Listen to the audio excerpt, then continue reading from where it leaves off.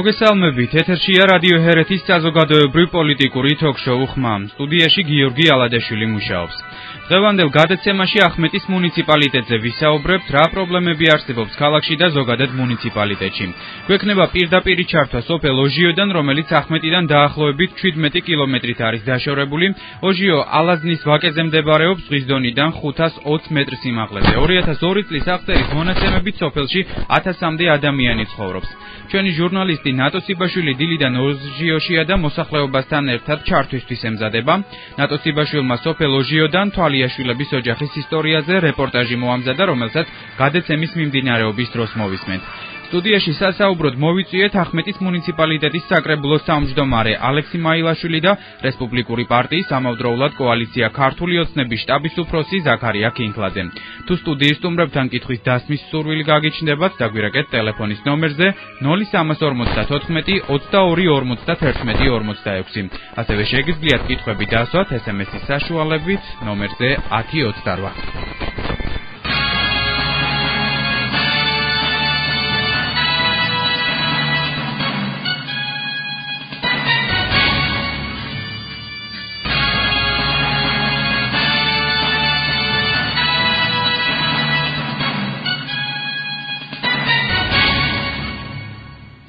როგორც უკვე აღნიშნეთ, ჩვენი დღევანდელი გადაცემის სტუმრები არიან საკრებულოს თავმჯდომარე ახმეტაში ალექსი მაილაშვილი და რესპუბლიკური პარტიიდან ზაქარია კინკლაძე. ჩვენი შეთავაზების მიუხედავად, რომ სტუდიაში ორივე სტუმარი ერთად ყოფილიყო და გარკვეულ თემებზე დებატები შემდგარიყო, ახმეტის მუნიციპალიტეტის საკრებულოს თავმჯდომარისგან უარი მივიღეთ ალექსი მაილაშვილს არსურს დებატების ფორმატის გადაცემაში მონაწილეობა. თოქშოუში მოვიწვიეთ სტუმრები, ამიტომ მათ ეტაპობრივად ისინი ეტაპობრივად შემოგვიერთდებიან. პირველი სტუმარი კი ზაქარია კინკლაძეა ჩვენ სტუმრების უკეთ გაცნობის მიზნით გთავაზობთ მათ ავტობიოგრაფიებს. ამჯერად მოვისმინოთ ზაქარია კინკლაძის მოკლე ავტობიოგრაფია.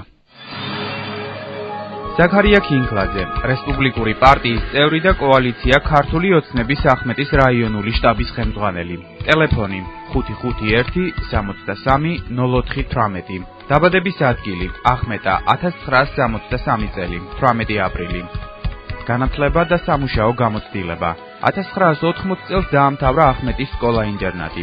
1980-82 წლებში მუშაობდა ახმეტის მევენახეობის სანერგე მეურნეობაში მუშად.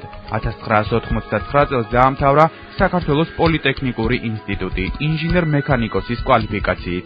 1988 წლიდან აქტიურად ჩაერთო ეროვნული მოძრაობის ღონისძიებებში. 1991 წლის 31 მარტს დამოუკიდებელი საქართველოს ისტორიაში პირველ ადგილობრივ არჩევნებში აირჩიეს. ახმეტის და რაიონის საკრებულოს წევრად.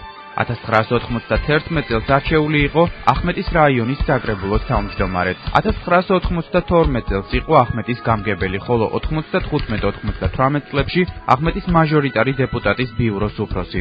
2009 წლის ივნისიდან არის საქართველოს რესპუბლიკური პარტიის ახმეტის კომიტეტის თავმჯდომარე. 2010 წლის ადგილობრივი არჩევნებით არჩეული იქნა ახმეტის რაიონის საკრებულოს წევრად საქართველოს რესპუბლიკური პარტიიდან.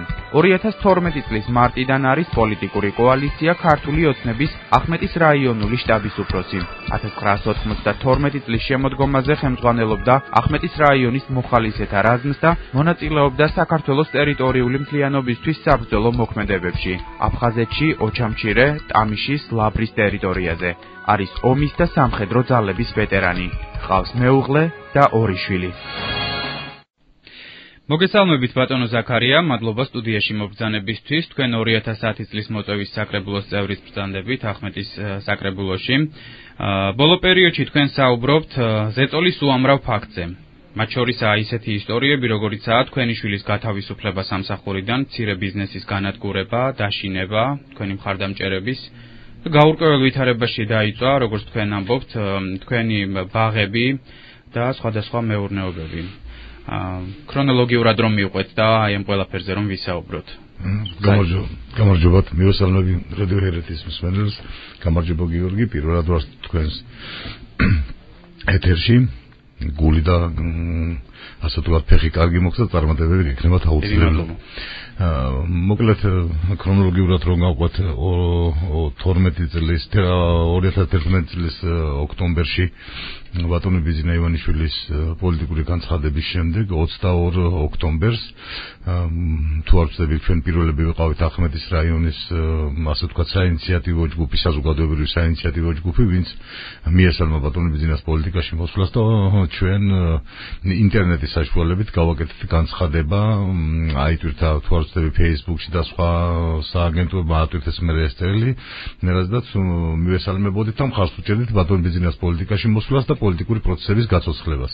ნუ ამას იმ დღისთვის მოყვა შედეგი, ჩემი შვილი იყო ასე ვთქვათ ერთკვირიან თუ 10 დღიან შვებულებაში გაშვებული და ის ორშაბათი დღე იყო და იმ საღამოსვე დაურეკეს რომ ჩასულიყო თელავში სოციალური სააგენტოში და მოსთხოვეს მკაცრად და ძალიან სასწრაფოდ ესე იგი განცხადების დაწერა რომ გათავისუფლებულიყო.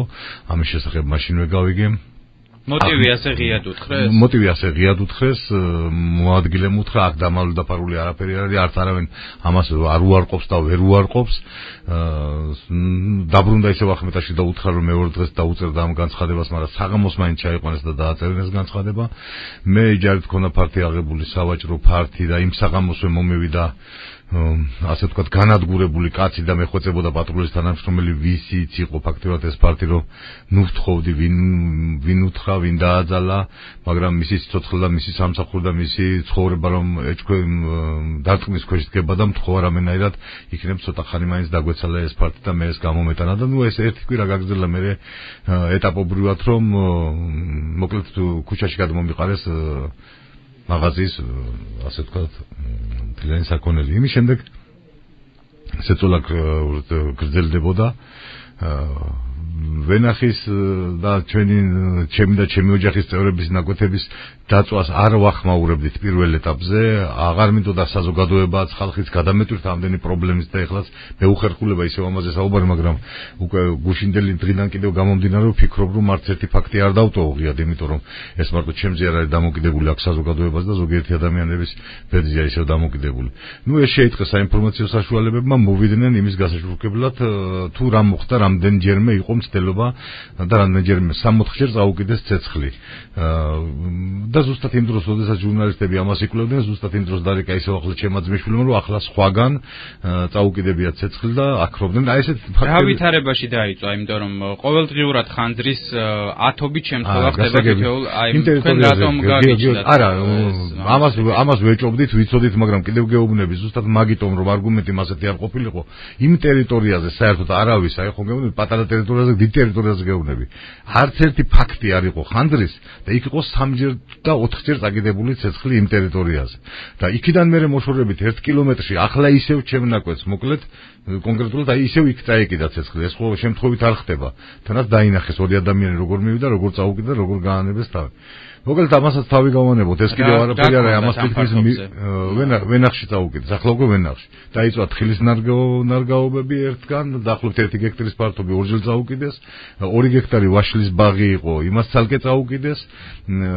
და ასე საკურდღლე მეურნეობა საკურდღლე მეურნეობა ხეხი ვაშლის ნარგავებში ქონდა საკურდღლე მეურნეობა ისიც მთლიანი დაიწვა. და იქ იყო ჩემი ძმის ნაკიდი ასე ვთქვათ მეცხოველეობის ფერმისთვის განკუთვნილი ფართობი და კონკრეტულად კიდე მცდელობა იყო. იქ მოკი დამოკიდებოდა რამდენჯერმე შეესწრნენ ადამიანები და ჩააქრეს. მოკლედ ეს ეს უკვე გამოძიება მიმდინარეობს. არა, არა, მე არ ვიცი, არ დავინტერესებული ვარ ხო გეუბნებით ის ტერიტორიები იქ არის, ფაქტი იქ არის, მაგრამ კიდევ გეუბნებ მე არ მინდა ხოლმე გადავტვირთო კონკრეტულად ჩემი პრობლემებით. ამას უკვე თითქმის მიჩვეულიც ვარ, არც მე უცნაურება, მე უფრო ვფიქრობ წავადგე იმ ხალხს და მივეხმარო იმ ხალხს დაცვაში, რომელსაც ყოველდღიურად პოლიტიკური მოსაზრების გამო სდევნიან. აი აღარ არის საუბარი მე იმის შემდეგ ახმეტაში კოალიციის სამეურნეო საქმიანობისთვის, რემონტებისთვის ჩამოსულ ხალხს როგორ დახვდნენ სახლებიდან გამორეგეს. აი გუშინ მაგალითად. აი ეს მინდა კითხოთ, ზედამხედველობის სამსახურის თანამშრომლებმა თქვენ გიჩივლეს? კი, გუშინ სასამართლო. და დანაგვიანების გამო. სასამართლო, სასამართლო იყო გიორგი. ძალიან წილად ვთხოვე რომ და მე თვითონ მინდა არ მინდა რომ ამაზე ის გავსულიყო, მაგრამ რა კი ახლა პირდაპირ საუბარია კონკრეტულად აი გეტყვით და უბრალოდ სასაცილო ახლა მე მაგალითად საკრებულოს თავმჯდომარე ვიყავი კიდეც და რომ ყოფილიყავი ახლა მე ბოდიშს მოუხდიდი დეპუტატს, ერთ-ერთი დეპუტატი, ერთად ერთადერთი დეპუტატი ვარ ოპოზიციონერი საკრებულოში და საკრებულოს და მუნიციპალიტეტის ადმინისტრაციული ორგანოები დეპუტატს აჯარიმებენ ნაგვის ქალაქის ქუჩების დანაგვიანებაში, როდესაც ვერც ერთი ახმეტელი ვერ იტყვის პირიქით ყოველ სულ მოწადინებული, რომ ასეთი რამე არ მომხდარიყო. თუ ვინმე დაინტერესება მოვა და ვაჩვენებ იმ ფართობსაც იმ ტერიტორიასაც, როგორ გავასუფთავეთ, როგორ დავაწყვილეთ იქაურობა და პატარა ქაღალდიც კი არ გდია ჩვენს ტერიტორიაზე დანაგვიანებაში. რა ტერიტორია იყო ეს? გეტყვით ახლა. ადგილობრივი მრეწველობის კომბინატი, რომლის გარემონტებაც დავიწყეთ ჩვენ და ოფისის უნდა გაგვეკეთებინა სარემონტო სამშობლოების ჩვენ თვითონ ვაწარმოებდით, ღამის თხრის ნახევარზე ფოტოაპარატით დამადგენენ. ზედამხედველობის სამსახურის უფროსი, დასუფთავების სამსახურის უფროსი და საინფორმაციო სამსახურის უფროსი. სამუშაო ფორმაში ვიყავი. სამუშაო იარაღები კარების გარეთ ქონდა გამოტანილი, იმიტომ რომ იატაკზე უნდა წაგვესვა, წამესვა ლაკი. გამოტანილი ქონდა სამი ტომარა პირმოკრული, რომელშიც ელაგა ნაგავი. მე ვუთხარი რომ ეს ჩემი დალაგებული იყო კარიდან 10 მეტრაში. ურნის, ნაგვის ურნის გვერდით. ასეც ყველგან წავაწყდებით ქუჩებში რომ ნაგვის ურნის გვერდით რაღაც ალაგია პირს მოკრული. მე ვთქარ ეს მე დავალაგე. ეხლა ვამთავრებ მუშაობას ღამეა და ამას აუცილებლად გავიტან. მითხრეს რომ მე არ მქონდა გატარის უფლება, იმიტომ რომ ნაგავს აყრელიც მათ ეკუთვნოდათ. მე ვთქარი მაშინ ისე უკან შევიტან და წავიდნენ. თუ ნაგავს აყრელიც მათ ეკუთვნით. მოკლედ მე ვთხოვე რომ თუ მე დამრღვევი ვიყავი, ოქმი იქვე შეედგინას, ოქმი არ შემიდგინეს. მეორე დღისით შემხვდა დილით ვე კვირა დღე იყო შემხვდა დილით ზედამხედველობის სამსახურის უფროსი უთხარი წამოდი აგერ გაჩვენო საგარი გალეონის შიგნით შევიტანე ის სამი ტომარა. ფოტომასალა აქაც ამაქვს მე თქვენს დაგიტოვებთ მითხრა ორ შაბათს მაინც შემიდგენ და მოვიდნენ ორ შაბათს. აქტის შედგენის დროს ფოტოსურათი გადაუღირო ტომრები არ არის ის სამი ტომარა ქუჩაში არ არის შიგნით არის გალეონის შიგნით. და ამავე დროს იმერთ საათში მე ვაჩვენე ახმეტის ქუჩებში და თქვენს დაგიტოვებთ ფოტომასალას სადაც 10 ტომარა დევს არანაკლებ 10 ტომარსა დევს ყველა ურნასთან მაგრამ აი ამაზე შემიდგინეს 200 ლარიანი ჯარიმა და გუშინ სასამართლო გამიმართეს. მე და როდესაც წარმომადგენლები მოდიან სასამართლოს გარეშე სხვა რამეს ველაპარაკებიან მაგრამ ეს ხო ეს ხო აი როგორ გითხრათ მე მაგალითად მცხონი ამაზეც რო საუბრობ. ამაზე უბედურება რა უნდა რამდენი ლარის 200 ლარის ჯარიმი 200 ლარი დამაჯარიმეს მაგრამ აქ სხვა რამე ქონდათ მიზანი. ითხოვდნენ კონკრეტულად კომპანიას რომელი კომპანიას უნდათ ვიცი რომ 5000 ლარია თუ რაღაც ჯარიმა რომ ვიღაცაზე მეთქვა რომ ვიღაცა აწარმოებს გუშინ გამოგითხვა ჩატარდა ახმეტაში ივანიშვილის მოქალაქეობასთან დაკავშირებით და დღეს დღეს არის ერთი უბედურება მორბის ეს ხალხი და მეუბნე ოჯახები აუწიოგეს ოჯახები აუწიოგეს აბსოლუტურად სულ ყველას აი გუშინდელ ინტერვიუში ვინც ჩანს რომ თანხმობა თქვა რომ არა მოქალაქეობა უნდა მიეცეს.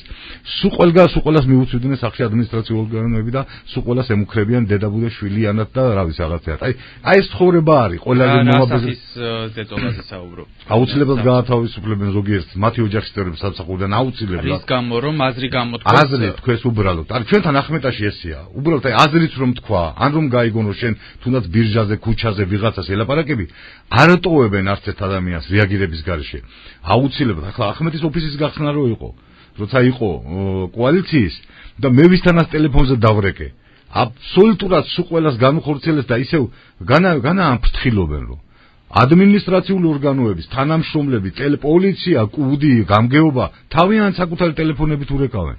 დეტალური ანგარიშები გვაქვს მობილურ ტელეფონებს ამოღებული სადაც იმ დროისთვის ვინ დაურეკა რომელ თანამშრომლმა და მოკლედ აუკრძალა იქ მისვლა შეკრებაზეც კი მისვლა გადაადგილება აუკრძალა კონსტიტუციური უფლება აზრის გამოხატვა დემონსტრაციაში არ მიუღიათ მონაწილეობა აქციაში. აი ესა ეს უბედურება გვჭირს. ეხლა რაზე უნდა ილაპარაკო სამეურნეო საქმიანობაზე, რამის გაკეთებაზე, შეღებოაზე, როდესაც ადამიანებს ელემენტარული და ესეთი უფლებები არ აქვს და დასდებენ.